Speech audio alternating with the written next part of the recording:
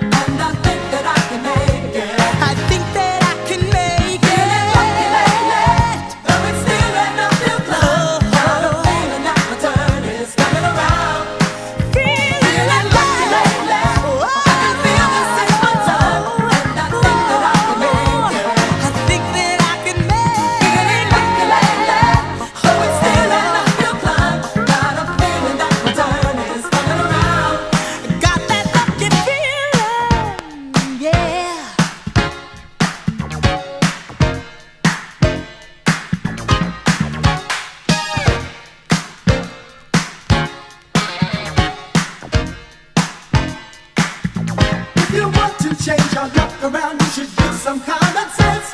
You will overcome those obstacles if you gain some confidence.